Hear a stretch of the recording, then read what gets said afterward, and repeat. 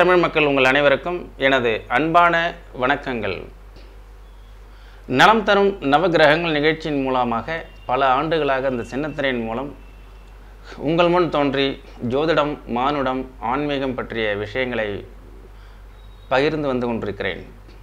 அந்த வகையில் இரண்டாயிரத்தி பதினெட்டாம் ஆண்டு பலன் எப்படி இருக்கும்? மேச ராசிக்காரர்கள் இந்த மேஷ ராசி நேயர்கள் பொறுத்த வரைக்கும் ரொம்ப அவங்கள பற்றி நிறைய நாங்கள் சொல்லியிருக்கோம். ரொம்ப ஃபாஸ்ட்டு எதுலேயுமே வேகம் துரிதமாய் செயல்படுதல். அதே மாதிரி கண்ணியமான மனிதர்கள் நேர்மையான மனிதர்கள் எந்த ஒரு வேலையும் எடுத்து முடிக்காமல் விடமாட்டார்கள். அப்படிப்பட்ட மனிதர்களுக்கு வந்து கடந்த டூ அண்ட் ஆஃப் இயர்ஸ் அஷ்டம சனி காலத்தில் நிறைய நேயர்கள் வந்து பிரச்சனைக்குள்ளானோம். ரொம்ப கஷ்டப்பட்டோம். ஏன்னா நம்ம இதுக்கு முன்னாடி பதிவு செய்த வீடியோக்களை பார்க்கும்பொழுது அந்த மேச ராசிக்காரர்கள் தான் நிறைய பேர் வந்து அஷ்டமசனி காலத்தில் தான் பட்ட கஷ்டங்களுக்கு அதில் நிறைய கமெண்ட்ஸ்லாம் பண்ணியிருந்தீங்க. நான் என்ன சொல்ல வரேன்னா என்னை பொறுத்த வரைக்கும் என்னுடைய வாடிக்கையாளர்கள் என்னுடைய சப்ஸ்கிரைபர்கள் அதே மாதிரி இந்த நிகழ்ச்சியை இதற்கு முன் பார்த்தவர்கள் இப்பொழுது பார்த்து கொண்டிருக்கக்கூடிய புதிய புதிய நேயர்கள் மேச ராசிக்காரர்கள் உங்கள் அனைவருக்கும் நான் சொல்லக்கூடிய நற்செய்தி என்னவென்றால் இந்த இரண்டாயிரத்தி பதினெட்டாம் ஆண்டு இனிய புத்தாண்டு நல்வாழ்த்துக்கள். அதை நான் முதல்ல உங்களுக்கு சொல்லிடுறேன். அதுக்கு அடுத்தது உங்களுடைய ப்ளஸ் ஆர் மைனஸ் அது எல்லாமே பற்றி சிந்திக்கிறதுக்கு ஒரு வாய்ப்பு கடந்த இரண்டரை ஆண்டு காலம். அந்த இரண்டரை ஆண்டு காலத்தில் நடந்த ஒவ்வொரு நிகழ்வுகளுமே உங்களுடைய வாழ்க்கையில் நிறைய உலுக்கிய சம்பவங்கள் சுனாமி மாதிரியெல்லாம் நடந்திருக்கும். நிறைய பேர்லாம் பகிர்ந்துக்கிட்டாங்க சரி. ஒரு மனிதனுடைய மனம் புத்தி சிந்தனை செயல் அதனுடைய விளைவு. இதுதான் கிரகங்களுக்கும் மனிதனுக்கும் உண்டான தொடர்பு. கிரகங்களை கிரகங்கள் வந்து மனிதனை ஆட்டுவிக்கிறது மனிதன் ஆடிக்கொண்டிருக்கிறான். கோள்களின் கோலாட்டம்.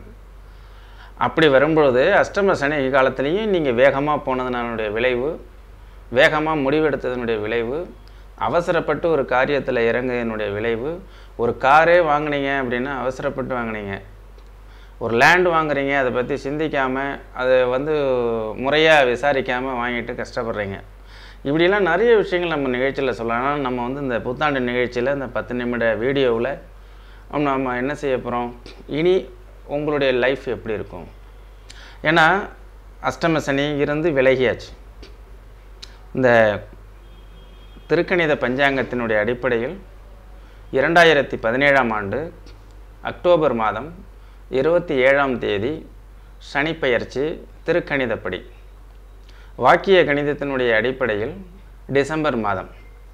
என்னை பொறுத்தவரை நாங்கள் பல்கலைக்கழகத்தில் பெரும்பான்மையாக ஆய்வு செய்ததனுடைய விளைவு திருக்கணிதப்படி சனி ராகு கேது இந்த மாதிரி குரு பயிற்சியே சரியானது. சரியானது என்பது ஒரு ஆய்வுக்குரிய ஒரு உட்பட்ட விஷயமாக இருந்தாலும் மேக்ஸிமம் அதுதான் கரெக்டாக வருது. சரிங்களா? அதனுடைய அடிப்படையில் அக்டோபர் மாதம் இருபத்தி ஏழாம் தேதியோடு உங்களுக்கு சனி அஷ்டம சனி விலகியாச்சுங்க.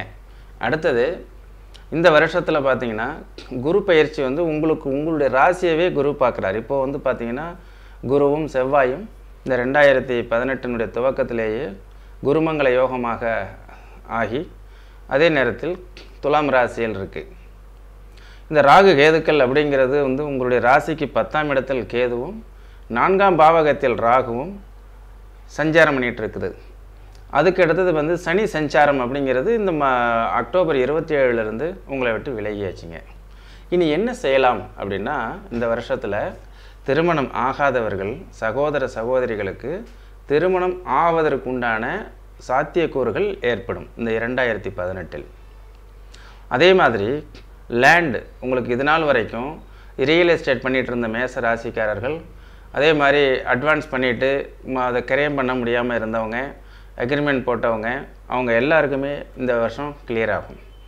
வீடு கட்டுறதுக்காக ஆரம்பித்து பல்வேறு விதமான பிரச்சனைகள் மணல் விலை உயர் உயர்வு இப்படியெல்லாம் ஏதோ ஒரு காரணங்களால் நின்று போச்சு இல்லை அஷ்டம சனி காலம் அதிலலாம்.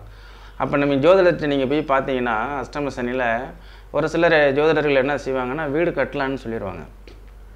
அப்போ வீடு கட்டுறது தப்பில்லை. நீங்கள் ஒரு எஸ்டிமேட் வந்து ஒரு டுவெண்ட்டி ஃபைவ் லேக்ஸ் போட்டிங்க அப்படின்னா அஷ்டம சனி முடிவு அந்த காலகட்டங்களில் அது ஃபார்ட்டி லேக்ஸ் வந்து முடியும். எதை துவங்கினாலும் ரொம்ப சின்சியராக அதே மாதிரி சிஸ்டமேட்டிக்காக அந்த மேசராசிக்காரர்கள் செயல்பட்டாங்கன்னா அந்த அஷ்டம சனியில் நிறைய விஷயங்களில் வெற்றி அடைஞ்சிருப்பாங்க. ஆனால் அவசர அவசரம்னு சொல்லி செயல்பட்டவங்க எல்லாமே லாஸ் ஆகிருப்பீங்க ஓகே அப்போ இந்த வருஷம் அந்த வீடு கட்ட கட்டாமல் நின்று போன வீடு கட்டி முடிக்கப்படும். திருமணத்தில் பல்வேறு விதமான தடைகள் ஏற்பட்டு கல்யாணம் பேச்சு வரை வந்து நின்று போனவர்கள் இனி எல்லாம் சுபகாரியங்கள் உங்கள் வீட்டில் நடக்குங்க. அதில் எந்த விதமான மாற்றமும் கிடையாது. அதே அக்ரிமெண்ட் போட்டு கிரையம் பண்ண முடியாமல் இருந்த மேசராசிக்காரர்களுடைய நிலம் அவர்கள் வாங்கிய நிலம் இனியெல்லாம் பிரச்சனைகளுக்கு தீர்வு ஏற்படும். அதே மாதிரி நீங்கள் ஏதாவது வம்பு வழக்குகள் ஏன்னா இந்த அஷ்டம சனியில் தேவையில்லாத பிரச்சனை அடுத்தவங்களுக்காக போய் ஜாமீன் போட்டது அடுத்தவங்களுக்காக வேண்டி நீங்கள் போய் ஒவ்வொரு வேலைகளில் ஒத்தாசை பண்ணுறதாக போய் நீங்களே மாட்டிக்கிட்டது அடுத்தவங்களுக்காக உதவி செய்ய போய் உபத்திரவத்துக்கு ஆளானது இந்த பிரச்சனைகள் எல்லாத்துக்குமே இப்போ ரெமெடி கிடைக்கும். அதே மாதிரி உங்களுடைய ராசிக்கு வந்து கரெக்டாக பத்தாம் பாவகத்தில் வந்து பார்த்திங்கன்னா கேது. இது ஒரு மகர ராசியில் இருக்கிறதுனால நீங்கள் எப்பெல்லாம் வெளிநாடு சம்மந்தப்பட்ட முயற்சிகள்லாம் எடுத்திருந்தீங்களோ வெளிநாட்டில் வசிக்கக்கூடிய முக்கியமாக வளைகுடா நாடுகளில் பணிபுரியக்கூடிய நமது தென் மாவட்டத்தை சார்ந்த நிறைய சகோதரர்கள் அங்கிருந்தெல்லாம் கூப்பிட்டு நம்ம அஷ்டமசனியில் அஷ்டம சனியில் பட்ட கஷ்டங்களெல்லாம் நிறைய சொல்லும்பொழுது அந்த சவுதி அரேபியா அந்த மாதிரியான பல நாடுகள் துபாய் ஷார்ஜா அதே மாதிரி வந்து கத்தார் போன்ற நாடுகள். அப்போ அவங்க இந்த நிகழ்ச்சியெல்லாம் டெய்லி பார்ப்போம் சார் உங்களுது அப்படிம்பாங்க. அப்போ என்னென்னா ஏதோ ஒரு மெசேஜ் உங்களுக்கு இதில் இருக்கும் அப்படின்னு. ஏன்னா ஒரு சிலருக்கு வந்து மேட்ரு மட்டுமே எதிர்பார்க்குறாங்க. ஒரு சில மேசராசிக்காரர்கள். ஒரு சிலர் வந்து நிறைய விஷயங்களையும் சொல்லுங்கிறாங்க ஏன்னா இது வந்து ஒரு யூடியூப் அப்படிங்கிறது எல்லாருக்கும் பொதுவானதாக போச்சு. அதனால் உங்களுடைய மனநிலை என்னன்னு எனக்கு தெரியாது. என்னுடைய மனநிலை என்பது இந்த நிகழ்ச்சியின் வாயிலாக உங்கள் பிரச்சனைகளுக்கு சரியான ஒரு தீர்வை சொல்கிறது எனவே இந்த வருஷத்தில் வந்து பார்த்திங்கன்னா விசா பிரச்சனையில் இருக்கிறவங்க வேலை ஒர்க்கு பர்மிட் இல்லாதவங்க ஒர்க்கு பர்மிட் எடுத்து வேறு வேலைகளை மாற்றி செய்யக்கூடியவங்க. அதே மாதிரி தேவையில்லாமல் ஊர்லேருந்து எங்கள் வெளிநாடுகளுக்கு வந்து அங்கே சொன்னபடி வேலை கிடைக்காம கஷ்டத்தில் இருக்கக்கூடிய மேசராசிக்காரர்கள் அவங்க எல்லாருக்குமே ஒரு நல்ல மாற்றம் இந்த வருஷம் இருக்கும்.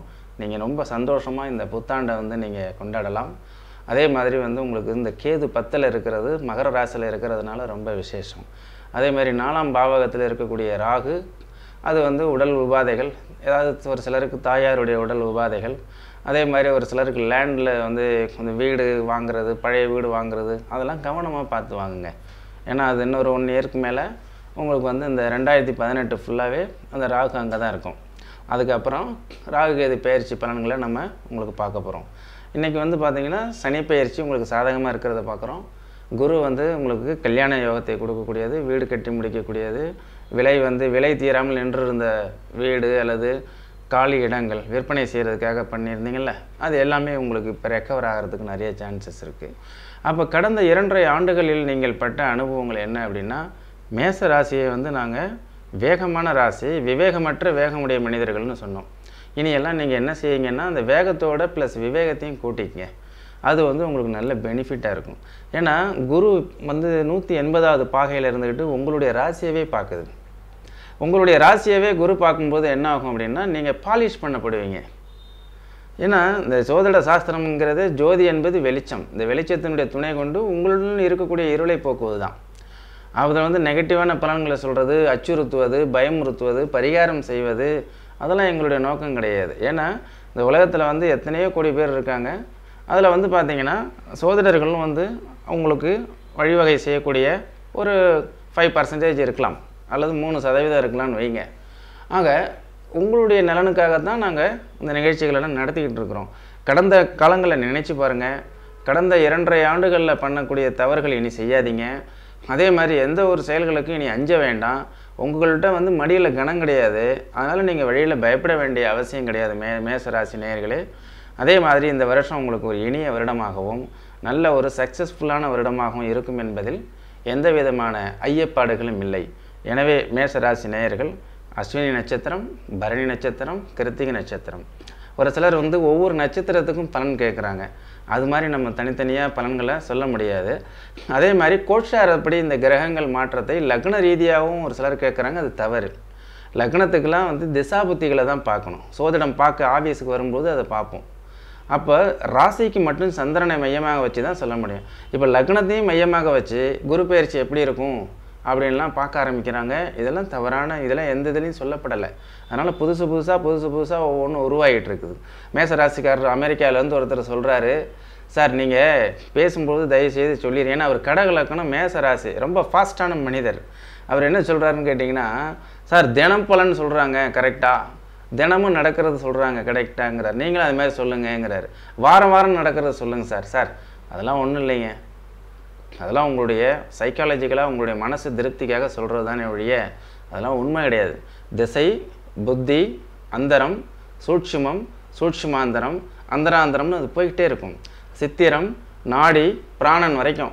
திசா புத்திகளை பார்க்கணும் அதுக்கெலாம் இது தினப்பலன்கள் வந்து ஜென்ரல் ப்ரிடிக்ஷன்ஸ் இது பொதுவானது. அதில் ஒரு வருடத்துக்கு வேணால் நம்ம சொல்லலாம். ஒரு நாளுக்கு உண்டான பலன்கள்லாம் நம்ம டிவியில் சொல்கிறாங்க அப்படின்னா ஒரு அஞ்சு டிவியில் ஜோதிடம் சொல்கிறாங்க அப்படின்னா அஞ்சு டிவியில் சொல்லக்கூடியவரும் வெவ்வேறு ப்ரெடிக்ஷன்ஸ் தான் சொல்லுவார். இப்போ என்னென்னா அவங்கவுங்களுக்கு பிடித்ததை அவங்கவுங்க அதை ஏற்றுக்கலாமே ஒழிய தினப்பலன்கள் என்பதெல்லாம் இந்த யூடியூப்லலாம் பண்ண முடியாது. ஒரு வருடப்பலன் தான். இந்த மேசராசிக்காரர்கள் இந்த வருஷம் நிறைய சாதிப்பார்கள். மேற்கொண்டு உங்களுக்கு ஏதாவது சந்தேகங்கள் இருந்தால் உங்களுடைய ஜாதகத்தை எடுத்து கொண்டு வாருங்கள். நம்ம மற்ற விஷயங்களை நேரில் சந்திப்போம். மீ- மீண்டும் ஒரு அடுத்த நல்ல ஒரு நிகழ்ச்சியில் உங்களை சந்திக்கிறேன். நன்றி. வணக்கம்.